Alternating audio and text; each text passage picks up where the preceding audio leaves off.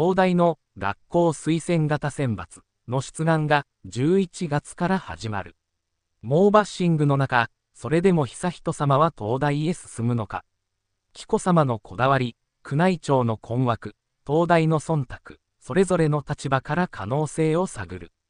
漫画、首席なのに選抜クラスに入れない。首都圏の中高一貫名門校の残酷な格差全編記事、明らかに悠仁様への忖度では、東大農学部の募集要項にあった驚きの文言はこちらから。悠仁シフトではないか。匿名を条件に取材に応じた東大関係者は内情についてこう明かす。数学オリンピックや音楽の国際コンクールなどに出場した経験のある高校生はいるでしょうが国際会議となると、悠仁様くらいしか該当者はいない。学内でも悠仁様シフトではないかと言われています。宮内庁から東大に何らかの打診があったのかについては明かされていませんが、進学を希望しているとされる悠仁様、ひいては秋篠宮家に対し東大側が、忖度をしたのかもしれません東大出身の社会学者で武蔵大学教授の千田幸氏は、東大側の事情についてこう推察する。推薦要件に国際会議への出席が入っているというのは聞いたことがありません。東大の中にも国際会議に出席したことのない教授は大勢いますからね。何らかの力学が働いたと考えるのが自然だと思います。東大にとって、悠仁様が入学するメリットはさほどない。むしろ、悠仁様を不合格にすることで被る不利益が大きいと考えているのではないでしょうか。悠仁様が入学すれば世間からいきさつについて追及されるはずですが、きちんと推薦入試を突破したという説明はできる。しかし不合格にした場合は、さらに厳しい説明要求にさらされます。仮に宮内庁サイドから打診があったのだとすれば、その時点で東大からすれば頭の痛い話であり、不合格にはできないと考えたのかもしれません。秋篠宮様は学習院が大嫌い。悠仁様がトンボ論文を発表し、国際会議にも出席。それに合わせるかのように東大農学部が国際会議への出席を推薦要件に盛り込む。この一連の動きは宮内庁と東大が連携して進学体制を整えているようにも見えるが悠仁様の東大進学は本当に規定路線なのか。本誌は農学部のみが国際会議への出席と明記した理由について東大に尋ねたが、期限までに回答はなかった。そもそも、東大進学は紀子様の意思とされる。それにしてもなぜ、紀子様はこれほど東大にこだわるのだろうか。その理由について、秋篠宮夫妻をよく知る学習院関係者は、出発点は秋篠宮夫妻の大の学習院嫌いにあるのではないかと語る。幼稚園から大学まで学習院に通った秋篠宮様ですが、おそらく制約の多い皇族の暮らしが昔からお嫌いだったのでしょう。だからこそ、その象徴のような存在である学習院も嫌いだった。その証拠に、秋篠宮様は在学中に友達を作ろうとしませんでしたし、卒業後も学習院関係の冊子に寄稿したことはほとんどないと思います。同窓会への参加も断っていると聞いています。誰よりも周囲の目を気にする性格。妻の紀子様は中等科から大学まで学習院で、大学時代に学内の書店で1年先輩だった秋篠宮様と出会った。学習院関係者が続ける。紀子様のお父様は学習院大の教授でしたが、職員用住宅の 3DK アパートに暮らしていた紀子様は、いわゆる上流階級ばかりのクラスメートに対し、引け目を感じていた。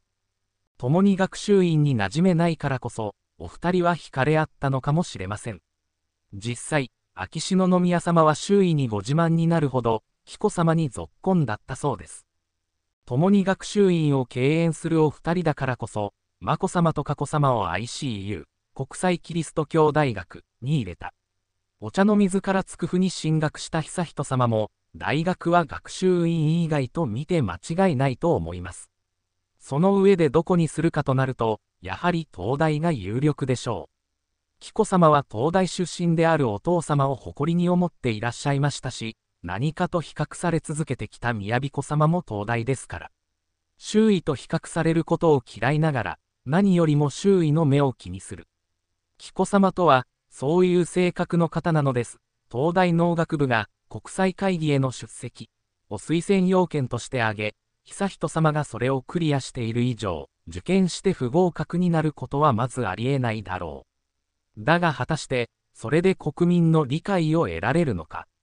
象徴天皇制が専門の名古屋大学大学院准教授の川西秀也氏が言う。一般家庭に生まれた人が高校生で学術論文の筆頭執筆者になり、国際会議に出席することは容易ではない。その意味では、悠仁さまが推薦制度を利用して東大に入学すれば、格差や不平等を追認することになります。国民統合の象徴となる悠仁さまは推薦を避け、入学したいならば一般入試を選ぶべきでしょう。陛下は、特別扱いが嫌いだった。金城天皇の54年代の語学友である野間信俊氏は、陛下の学習院時代の様子をこう明かす。陛下は非常に記憶力の良い方で、中学高校と成績は常にトップクラスでした。